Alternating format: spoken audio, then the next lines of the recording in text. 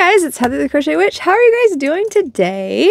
So today I have something a little different, something that I have planned on doing for quite a while. Um, I plan on doing it with other swatches also. Apparently I'm just going to jump right in. But uh, I have done it with one, one right now. Uh, I am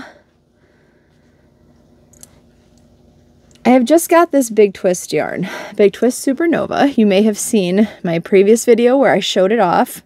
I am in love with it. I'm absolutely in love with this. It's beautiful. It's right up my alley. It is, um, it's very heathery yarn. This particular color is terraforming.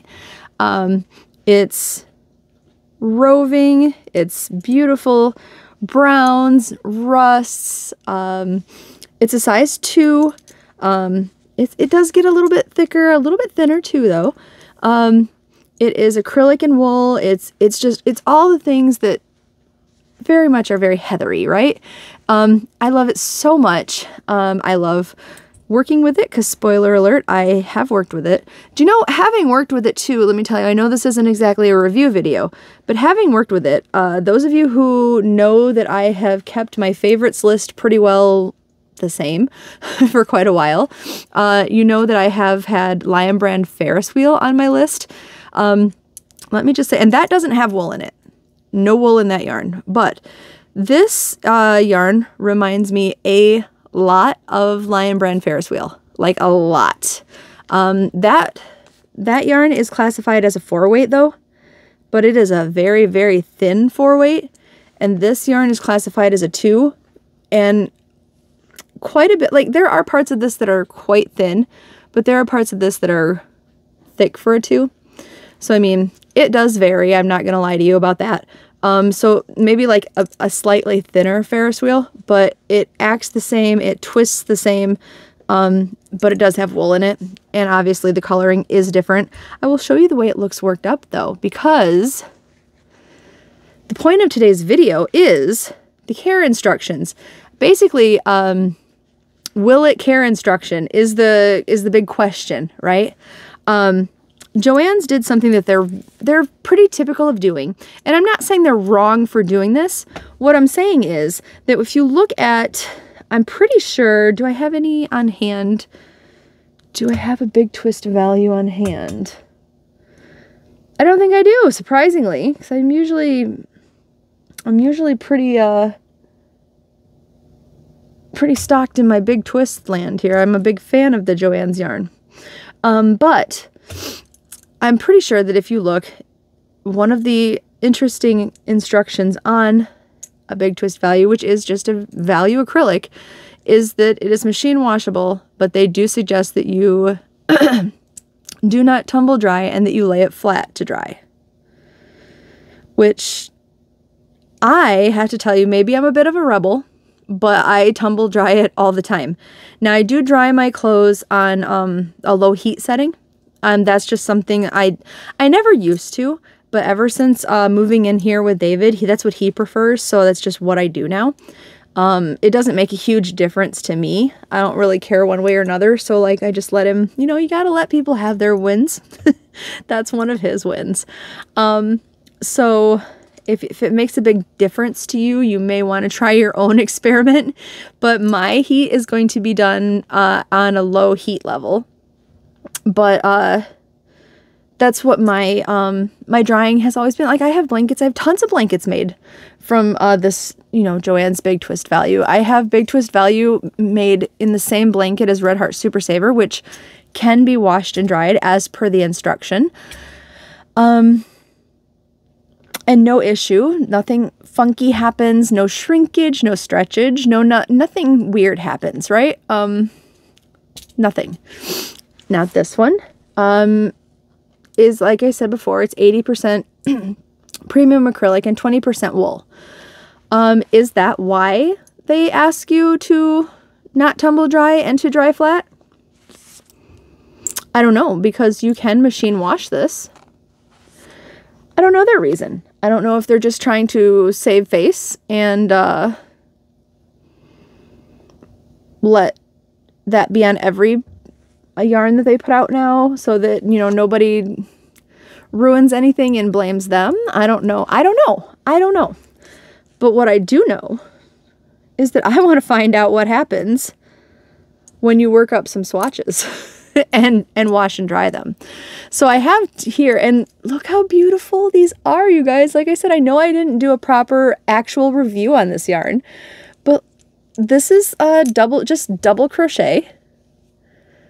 And this is a granny square. And like just your regular granny square. And I think they're beautiful. I love the way this works up. Like this alone makes me want to make just like a scarf or something made with just double crochet. Like, you know how long it's been since I've made just just a double crochet scarf or, you know, something like that. I I think this would be beautiful. Or like a, you know, your basic beanie with just just double crochet. That'd be beautiful. And it does look like the planet, like a planet surface. I think that's gorgeous. I think that's double crochet is like the way this was like meant. I, I kind of want to work something up with single crochet now. I know I'm getting myself off topic doing this or talking about it like this, but I'm wondering because it's so pretty. And I know if you do something, if you do a longer project or something, you're not going to have these same color changes this way. Like it'll be, a, you know, this would be much more spread out, but it might still have a really pretty effect. I don't know. This is, but this is gorgeous in my opinion. I, I don't know if you guys feel the same. We're not really here to debate whether it is pretty, but I still wanted to just say it is beautiful in my opinion. Same with this square. So pretty. And like, look how it's, the rust is just spread out and gorgeous. Now I did these two different ones because I figured, and we're going to measure them before it gets thrown into the wash and all, don't worry. But I figured the double crochet, the stitches are um, closer in proximity. I know they're not tighter. If I wanted to do tighter, I guess I could have done the single crochet, but um, closer in proximity. So if like felting happens or anything, they're going to be right there next to each other to kind of cling together, right? Um, so if anything wonky along the lines of like clinging together wise happens, this will be our, our test dummy for that. Um, and we will lay this down and measure it in a sec here. And as far as the granny square goes, I didn't want to like spend a lot of time doing anything like lacy and intricate. And this is certainly not lacy, but it does have holes and it does have some degree of, you know, a design. Um, so I figured if, if this were to dry funky and I don't know, super stretch out here or or super tighten up here or just dry wonky so it's, you know, um and mess up the the design aspect. We'll get a good idea of that too, right? Because there are a pattern of holes here. Like again, it's not lace. I didn't I did all this, you know, in a few minutes tonight, but um it's not anything lacy or or anything that'll show that off, but you know, it's more than double crochet. so I did a little something, so it'll be two different squares anyway. So all of that being said, I have my fancy little heart. I love this thing. I got it from Knit Crate, I don't know, several years ago. I love it so much. Um, it says all you need is yarn. And I love this thing. It's I think it's the only one I actually own right now. So yeah, trying to be really careful with it. So let's make notes here. We're to write down this will be the double crochet square. And we'll write down the dimensions there. And we'll write it down before washing Let's see. I'm going to do inches because I'm in the US and that's what I'm going to do. But we have got, of course it's not going to be an exact, of course it's not.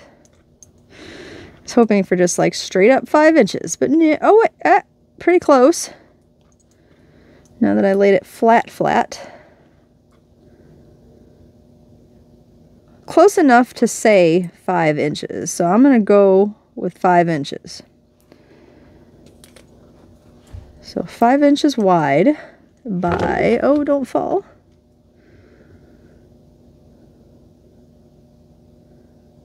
By four and three quarters, give or take a little bit here.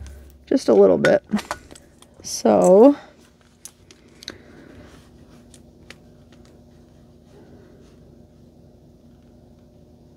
five inches wide by four and three quarters height. I know that's probably not how you would normally um, write them down, but you know, I am no scientist or mathematician or professional for that matter. So that's how I'm going to write it down. And we're still going to figure it out, right? So, and then we're going to go with the granny square before washing.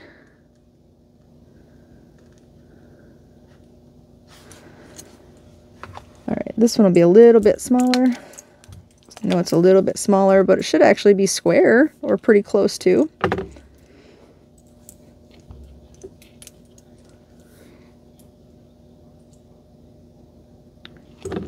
Believe we got four and a half there. Let's see if the other side matches up. Yep, four and a half by four and a half. See, see, I told you a little bit smaller. I actually knew what I was talking about.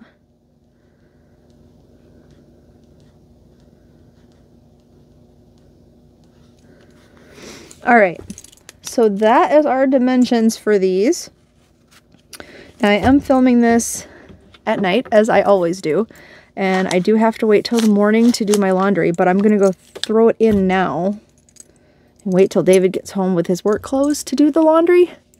So they're going to sit there tonight, patiently, and it's just going to be like I don't know if my editing thing has a cool clock wipe, but it's going to be, you know, it'll be something. We'll do like the wavy Scooby-Doo time forward, you know, for you. It'll be a mere moment for you guys.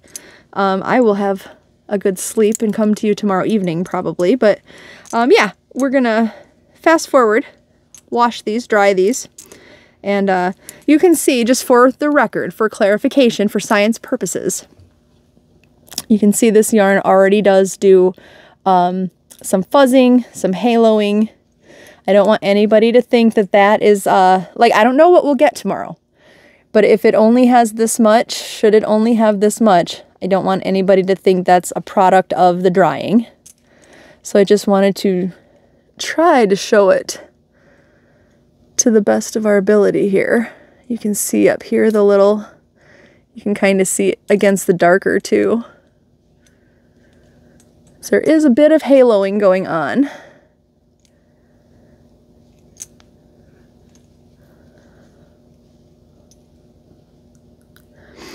But it is there. It's no it's no latte cake by any means, but I mean there's 20% wool in here and I'm sure that adds to that haloing. We'll see if this one will This one's a little more solid. Maybe if I lay it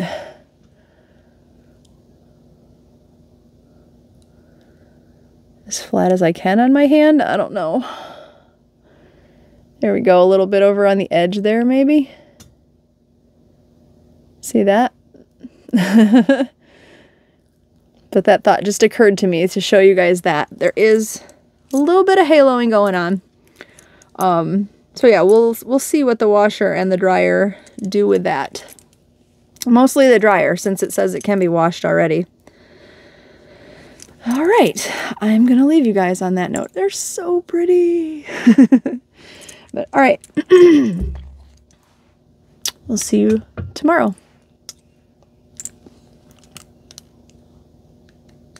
Bye, guys. All right, so hi guys, I'm back. um, I got the results back. Sorry, I'm a little more frazzled because it's the next day, even though I'm still in my pajama top. You're gonna have to excuse that. Sorry. um, because I wanted to hurry up and get this video done. I got the squares out of the dryer. I have to say, well, I'm not gonna tell you if I'm pleased or not. How about that? I will just show you. Um, so it's been just a couple seconds for you, and then we did the fancy screen blur or clock wipe or, you know, whatever it is that I found to edit into there. Hopefully I found something and didn't just let the camera roll. Knowing me, I might have. Anyway, um, here's what they looked like when they came out of the dryer. So remember, these were fully washed and fully dried. Um, I'm going to show you, because I know I just showed you the halo. And honestly, in the camera, it doesn't look like there's a huge difference. There, There is a bit more fuzz. There's not a huge amount more fuzz. If I'm being honest, like maybe you can really tell where the darker part of the yarn is, but it's still really not a whole heck of a lot, if I'm being just fully honest. I expected more. Like, it's roving to begin with, and it's got a tiny bit of wool, which I suppose could have a small part of it.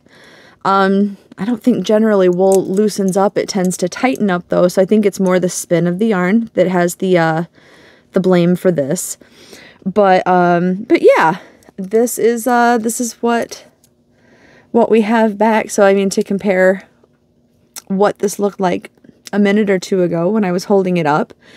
Here's what we have, and here's another close-up of the beautiful double crochet, which I think is just stunning. I absolutely love, love, love the way this looked, this worked up. Um, as you can see, the double crochets are still like nothing felted together. Nothing is weirdly shaped. Nothing is strange, out of the ordinary. You can definitely still see those beautiful double crochets. Um, and then again, I know I didn't do like anything super lacy or anything, but I did a bit of a pattern with the granny clusters. Um, now, obviously, I don't know how well you can tell from on the video, but uh, the square as a whole, like I can tell you when I measure this that it's scrunched down just a little bit.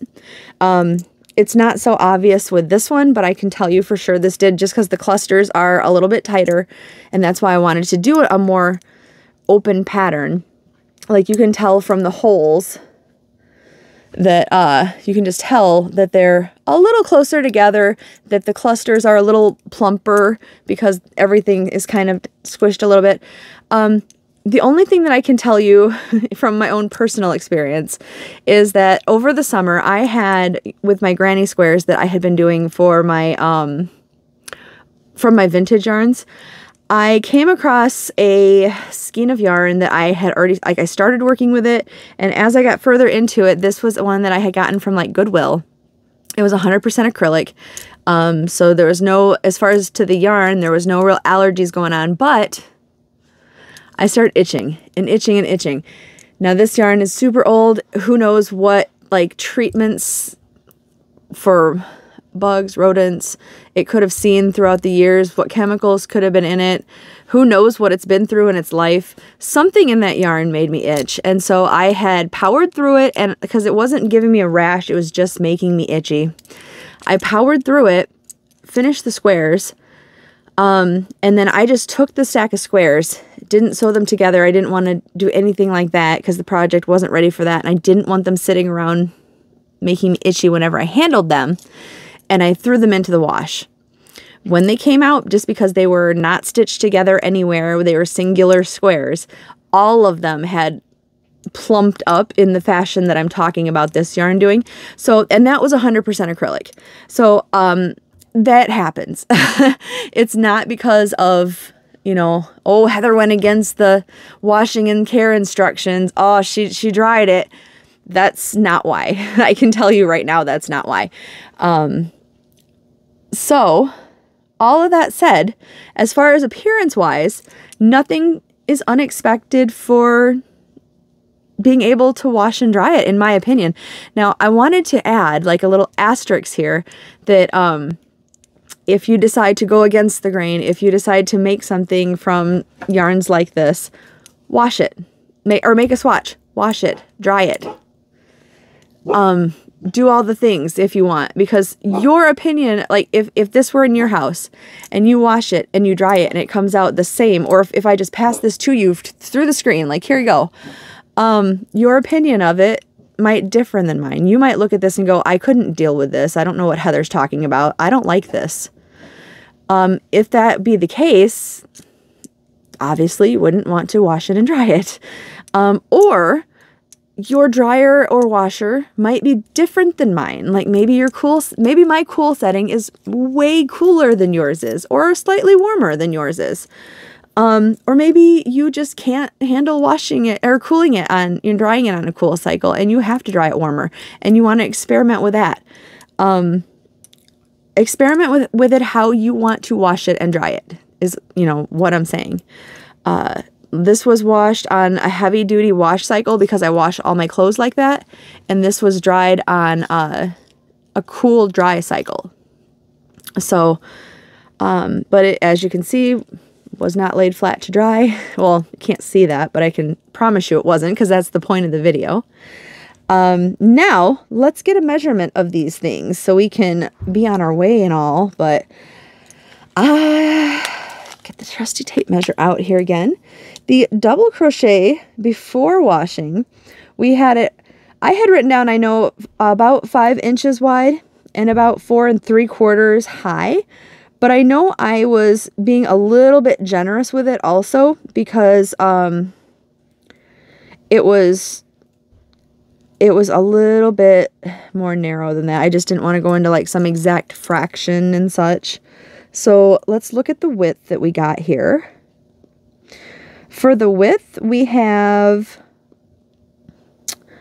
almost exactly four and three quarters. So we only lost about a quarter of an inch. So that's not that's not that much. And like I said, I know it was give or take before, so it might have been a little bit less than five inches before, meaning we didn't even lose a quarter of an inch. Um, for the height of it, if I had down about four and three quarters, hi Mav, and we are down to about four and a half inches. So again, about a quarter of an inch. So really not bad at all. And when you wash something, I mean, especially, okay, if this were in a full blanket, if this were sewn to other squares, I feel like it holds its shape and size better, excuse me, better with other ones to pull against it, right?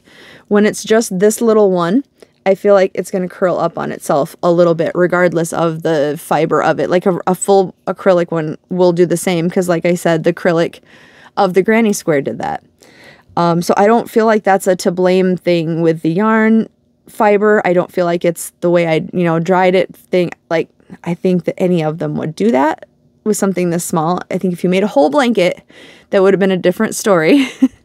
or maybe the blanket would have, I mean, on a grand scale, a blanket with a quarter of an inch lost to drying isn't going to be that great of a loss. I mean, if it is, maybe reconsider, but um, like maybe you're right down to the T of measuring it. I don't know, but you know, I can't make that judgment for you, right? You can. the granny square measurements, we had about four and a half inches by four and a half inches. And we are getting, so that's the half. So we're getting just under four and a quarter. So it did scrunch up on itself a little. And just under four and a quarter. So we lost just over a quarter of an inch. So yeah, I, I mean, I said I could tell, especially by the granny square, that that one squished up a little. But, you know, again, uh, my acrylic ones did the same. I fully expect that. Uh, I normally wouldn't just make a square and wash it. I would make the whole blanket and wash it. But like I said, it, it still held its shape. It didn't felt together. Um, if this is something that you can live with, then I would say by all means. Now, maybe, maybe if you're making a garment, you might want to consider if you're going to plan to wash it and dry it, you might want to consider making the garment just a little bit bigger and then wash it and dry it. Um, but like I, I am a blanket maker. So to me, losing that much of the blanket isn't, it's not going to matter. And perhaps when you make a sweater, losing that much of the sweater isn't going to matter. Um, because like my other plan for this was a cardigan and I tend to make stuff like that way too big anyway or way too small and I'm not going to wear it in the first place. But because I'm not that good at making stuff like that. Um, but if I'm wearing, if I'm making it way too big and I wash it and I, I lose a tiny bit, that's okay. um, so yeah, I'm not really fussed about it. Um, yeah, I would I would call this fine. Like I I fully plan to make my blankets and wash and dry them and have no issue at all. Um, but I will leave that up to you guys. Um, me personally, I would call this a wash and dry success. So, um, am I going to rebel against the care instructions? Yeah, I, I probably am. But you can let me know in the comments what what you would do, um, or what you have done, or you know what you think. Um, but yeah, I will leave that decision up to you. I just thought I would show you. So, and let me know in the future if there are any other yarns that come out that you want to know um, about. I mean, there's probably some obvious ones that you would not disregard the care instructions on. I'm not going to buy like a hundred dollar yarn and then not not follow that care instruction on. But um, yeah, maybe there are some other ones in the future that I'll I'll take a look at too if you're interested. So, all right, I will talk to you later, my lovelies. Bye, guys.